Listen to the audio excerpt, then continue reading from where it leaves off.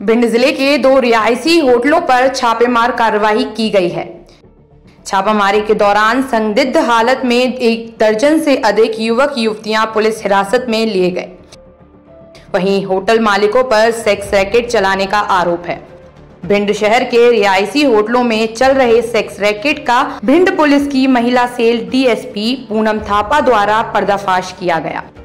दरअसल डीएसपी पूनम थापा को मुखबिर द्वारा लगातार सूचना मिल रही थी कि भिंड शहर में दो रिहायशी होटल, कृष्णा और गैराज पैलेस में सेक्स रैकेट का गोरख धंधा चलाया जा रहा है।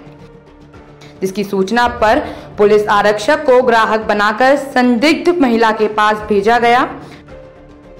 महिला ने कृष्णा होटल एवं गिराज पैलेस में लड़कियाँ उपलब्ध कराने की बात कही, जिसके बाद सेक्स रैकेट की पुष्टि होते ही पुलिस ने कृष्णा और गिराज होटल पर छापामार कार्रवाई की।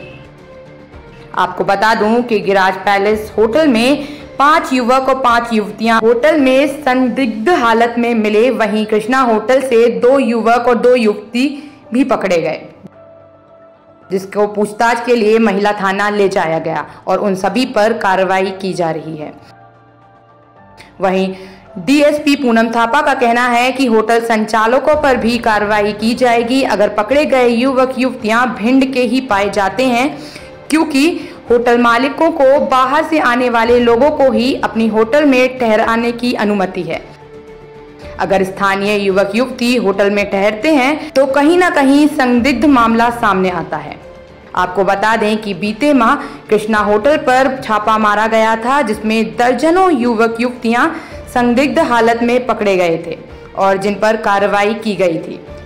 एक बार फिर होटलों में युवक युवतियों का मिलना होटल संचालकों द्वारा सेक्स रैकेट संचालित करने की ओर इशारा करता है।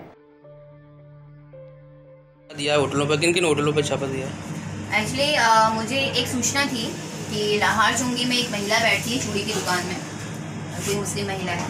वो लड़कियाँ प्रोवाइड करवाती है व्यापार के लिए तो उसके पास मैंने अपना एक आरक्षक भेजा था, सिविल कपड़ों में।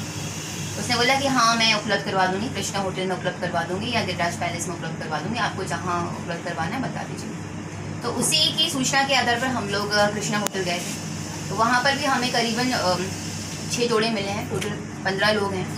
और गिरिराज होटल में भी हमने चेकिंग करी तो वहाँ पर भी हमें दो जोड़े मिले हैं तो उनसे तस्दीक कर रहे हैं कि एक्चुअली में कोई गर्ल है कि नहीं है। तस्दीक करके पूरी कार्रवाई करें अभी हाल ही में आपने गिरिराज पैलेस में वो वो कृष्णा होटल में छापा दिया था फिर वहाँ दोबारा चालू हो गया है तो।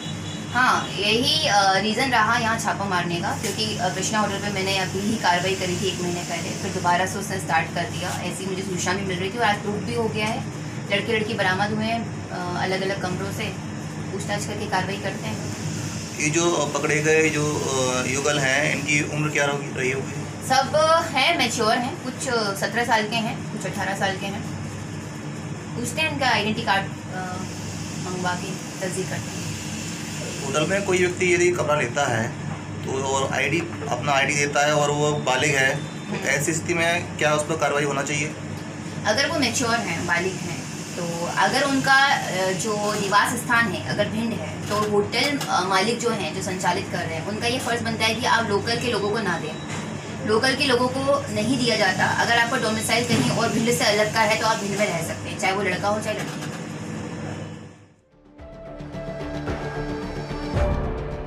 टाइम एट मध्य प्रदेश के लिए भिंड से सुनील शर्मा की रिपोर्ट।